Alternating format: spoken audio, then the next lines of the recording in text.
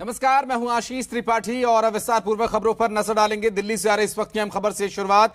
दरअसल दिल्ली में आम आदमी पार्टी और एलजी विनय सक्सेना के बीच टकराव और बढ़ गया है। आम आदमी पार्टी ने एलजी के खिलाफ मोर्चा खोल दिया है। एलजी को हटाए जाने की मांग को लेकर आम आदमी पार्टी के विधायकों ने दिल्ली विधानसभा के परिसर में रात भर धरना दिया। आम आदमी पार्टी का यह आरोप है कि एलजी विनय सक्सेना ने खादी ग्राम उद्योग के चेयरमैन रहते, नोटबंदी के दौरान मनी लॉन्ड्रिंग की और वहीं बीजेपी विधायक भी विधानसभा के परिसर में रात भर डटे रहे। बीजेपी की ये मांग है कि मनीष सिसोदिया और सत्येंद्र जैन को हटाया जाए। तो ये धरना पॉलिटिक्स लगातार जारी है। एक तरफ़ दिल्ली सरकार एलजी के खिलाफ प्रदर्शन कर रही है विधानसभा में। परिसर में रात भर धरने पर वे बैठे रहे। तो दूसरी तरफ़ बीजेपी के जो विधायक हैं, वो मनीष सिसोदिया और सत्येंद्र जैन को हटाए जाने की मांग को लेकर रात भर धरने पर बैठे रहे।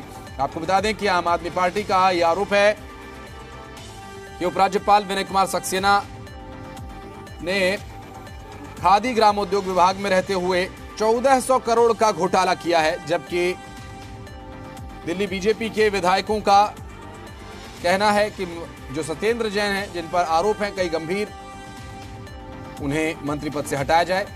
और इसके अलावा उप मुख्यमंत्री मनीष सिसोदिया को पद से हटाया जाए। तो ये तस्वीरें हम आज सुबह की आपको दिखा रहे हैं। जब सुबह हुई तो देखा कि यहाँ पर सभी जो विधायकगण हैं, वो बैठे हुए थे और अपनी मांगों को लेकर रात भर धरने पर बैठे रहे। आम आदमी पार्टी के विधायक आप देख सकते हैं, और रात में काफ़ी देर तक वहाँ पर गीत संगीत के माध्यम से भी अपनी मांगों को रखे जाने का प्रयास किया गया, और बीजेपी की मांग कि सिसोदिया को, सत्येंद्र जैन को बर्खास्त किया जाए, जबकि आम आदमी पार्टी का गंभीर आरोप है कि 1400 करोड़ का घोटाला एलजी विनय कुमार सक्सेना ने किया है, इस पर उन पर कार्रवाई होनी चाहिए।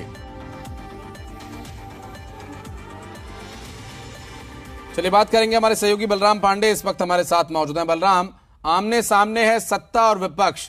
दोनों एक दूसरे पर आरोप लगा रहे हैं। हालाँकि अभी सिद्ध कब तक होंगे, ये कह पाना मुश्किल है? एक तरफ़ सीबीआई ईडी जाँच कर रही है, उसमें अभी तक कुछ स्पष्ट नहीं निकल पाया था। दूसरी तरफ़ 1400 करोड़ के घोटाले का आरोप लगाया जा रहा है। एलजी विनय कुमार सक्सेना पर रात भर धरना प्रदर्शन चला विधानसभा परिसर में।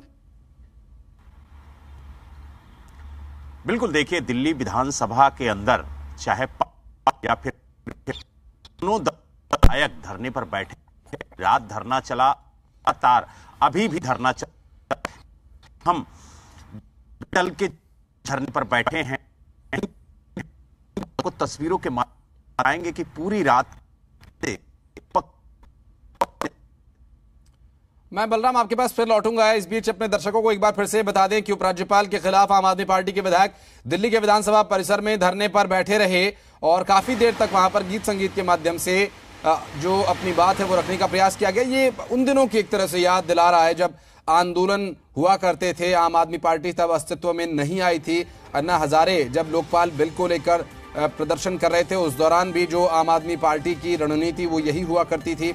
वो गीत संगीत के माध्यम से जो लोगों को जुटाने का काम करते थे और उसके बाद अपनी बात को रखते थे गीत संगीत के माध्यम से। और ऐसा ही कुछ यहाँ पर विधानसभा परिसर में देखने को मिला। दो तस्वीरें इस वक्त आपकी स्क्रीन पर आप देख सकते हैं। आम आदमी पार्टी लगातार एलजी को हटाए जाने की मांग कर रही है। आरोप है कि 1400 करोड़ का घोटाला, आम आदमी पार्टी का यह आरोप एलजी पर है। तो वहीं दूसरी तरफ़ भ्रष्ट मंत्रियों को बर्खास्त किए जाने की बात बीजेपी द्वारा उठाई जा रही है लगातार। विधानसभा में भी जब दो दिन का सत्र चला, उस दौरान भी ये बात, हालाँकि परिसर के अंदर ही वे बोल पाए, सदन में तो उन्हें बोलने नहीं दिया गया, चूँकि उन्हें बाहर कर दिया गया था, मार्शल आउट कर दिया गया था।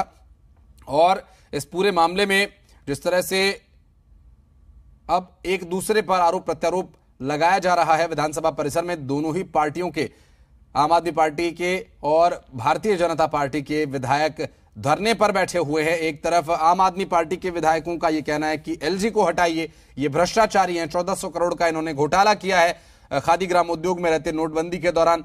और दूसरी तरफ़, आम आदमी पार्टी के सरकार में जो मंत्री मनीष सिसोदिया हैं, सत्येंद्र जैन हैं, उन पर जाँच चल रही है भ्रष्टाचार के कथित, भ्रष्टाचार के मामले को लेकर। उस पर बीजेपी के द्वारा लगातार ये उन्हें बर्खास्त किए जाने की मांग की जा रही है। बलराम हमारे सहयोगी लगातार हमारे साथ मौजूद है। बलराम अभी क्या अपडेट मिल पा रहा है? ये धरना प्रदर्शन क्या इसी तरह से जारी रहेगा? चूँकि दो दिन का जो सत्र था वो तो खत्म हो चुका है। आम आदमी पार्टी क्या कह रही है? देखिए आज भी विधानसभा का सत्र बुलाया गया है और आज सुबह 11 बजे से विधानसभा का सत्र शुरू होगा। लेकिन कल पक्ष और विपक्ष दोनों दलों के विधायक धरने पर बैठे। जो विपक्षी दल के विधायक हैं उनका कहना है कि उप मुख्यमंत्री मनीष सिसोदिया के खिलाफ सीबीआई की जाँच चल रही है। उन पर भ्रष्टाचार के आरोप लगे हैं। साथ ही दिल्ली सरकार के एक मंत्री सत्येंद्र जैन सलाखों के पीछे हैं और उनके खिलाफ भी ईडी की जाँच चल रही है। ऐसे में दोनों मंत्रियों को तत्काल बर्खास्त किया जाए। जब तक जाँच चले, तब तक उन्हें किसी भी संवैधानिक पद पर रहने का अधिकार नहीं है, क्योंकि इससे जाँच प्रभावित होगी।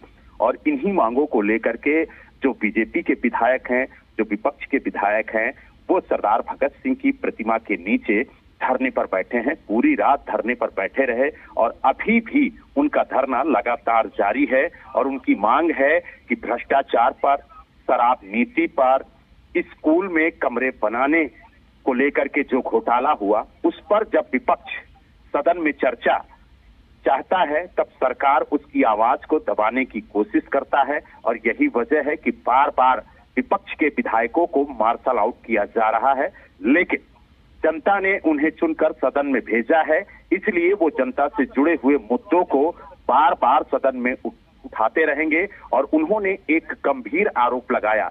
बोला कि पिछले ढाई सालों से विपक्ष को एक भी प्रश्न जनता से जुड़े हुए मुद्दे का उठाने नहीं दिया है। यही वजह है कि उन्होंने मांग की है और कहा कि सरकार जनता से जुड़े हुए मुद्दों पर चर्चा करे और जो आरोप वो लगा रहे हैं उन आरोपों पर सफ़ाई दे।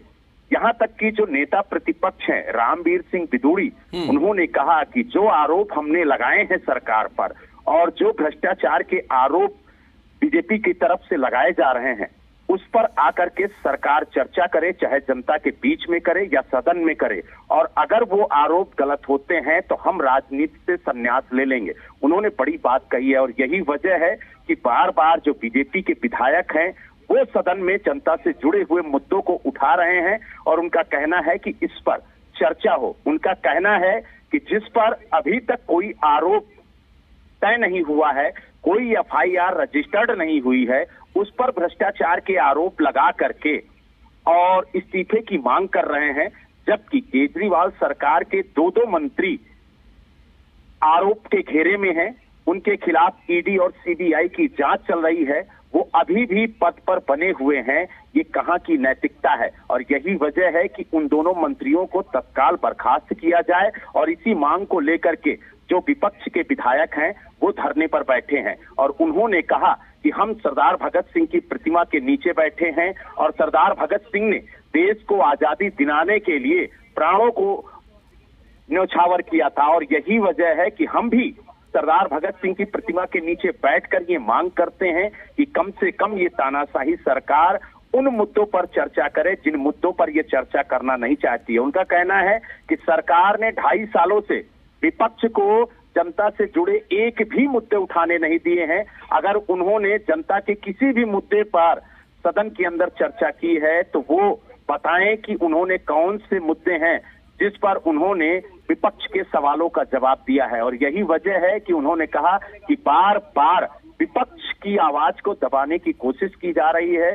जो विपक्ष कतई बर्दाश्त नहीं करेगा। हालाँकि इस पूरे प्रकरण की शिकायत उन्होंने उपराज्यपाल से भी की थी और उन्होंने कहा कि अब हम इसकी शिकायत राष्ट्रपति महोदया से भी करेंगे ताकि कम से कम सदन में विपक्ष को बोलने का अधिकार मिले। क्योंकि अगर जनता से जुड़े मुद्दे सदन में नहीं उठाए जाएँगे तो आखिरकार विपक्ष जनता से जुड़े हुए मुद्दों को कहाँ पर उठाएगा? तो ये कई ऐसे सवाल हैं जिनको लेकर के विपक्ष बार बार सरकार को घेरने की कोशिश कर रहा है।